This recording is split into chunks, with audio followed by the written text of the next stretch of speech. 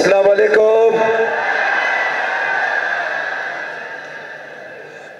इससे पहले उसमें आप मुझसे बात करना शुरू करें। यहाँ बहुत ही मोज़ हमारे दोस्त बैठे हुए हैं और प्यारे बच्चों, क्या हाल है आप सबका? अभी बुशरा आपा आई थी, वो कह रही थी कि प्रोटोकॉल की हमें ज़रूरत नहीं है, वाकई ज़रूरत नहीं है। अगर प्रोटोकॉल उनके साथ नहीं लगी होती ना तो मैं ये इंटरव्यू करके जा चुका होता, क्योंकि मेरे साथ प्रोटोकॉल लगी थी और मैं बड़ी जल्दी पहुँच गया इधर। तो कभी कभी ज़रूरत पड़ जाती है, मगर वाकई हमें ज़रूरत नहीं होती प्रोटोकॉल की। डिस्कशंस चल रही थी तो एक खातून ने बड़ी ज़बरदस्त बात कही। उन्होंने कहा कि अदनान जेंटलमैन में जो आपने किरदार किया है, शायद वो किरदार खुद भी दोबारा उस तरह से ना कर सकें। इतना बेहतरीन। खैर, उन्होंने तारीफ़ में कहा और मैंने फ़ौरन कहा कि ये खुद अपने स्टैंडर्ड्स ब्रेक करते हैं। तो जेंटलमैन ने भी क्या गेटअप किया है आपने? नहीं, वो तो बस इसमें मेरा कोई कमाल नहीं है। ये जो भी कुछ होता है ना, पूरी टीम होती है। उसके पीछे आपके आर्ट डायरेक्शन होती है, उसके पीछे आपके कॉस्ट्यूम डिज़ाइनर्स होते हैं, आपका डायरेक्टर होता है, आपके प्रोड्यूसर्स होते हैं।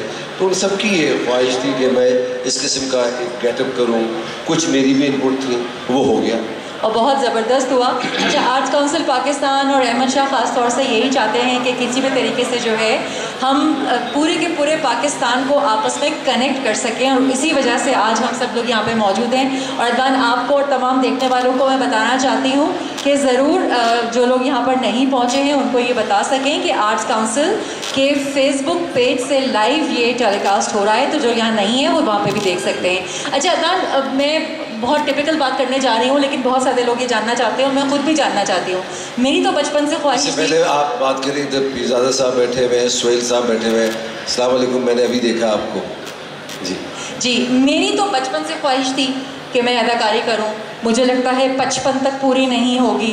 क्या आपकी भी बचपन से यही ख्वाहिश थी कि आप अदाकारी करें या कुछ और बनना चाहते थे? नहीं मैं तो कॉपरेट वर्ल्ड से एक्टिंग की तरफ़ आया मैं तो अभी बचपन पे हूँ। हाँ आप तो हैं। नहीं नहीं आप बचपन में क्या सोचते थे? बचपन में मैं तो जीडीपी पायलट बनना चाहता था। मगर मुझे पता लगा उसके लिए फ़िज़िक्स आपकी अच्छी होना ज़रूरी है। वो बिल्कुल पैदल थी मेरी तो शायद मैं इस वजह से नहीं बन पाया। मगर जो मैंने पढ़ा फिर उसके बाद मैं बैंक मैंने ज्वाइन किया। बैंक ज्वाइन करने के बाद वो नहीं सिलसिला ख़त्म हुआ क्योंकि बहुत ड्राई था। एडवर्टाइजिंग में गया फिर टेलको में गया।